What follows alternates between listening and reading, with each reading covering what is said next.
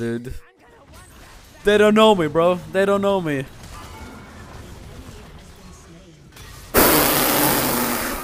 Where did bro's health go? Where did his HP go, bro? I killed them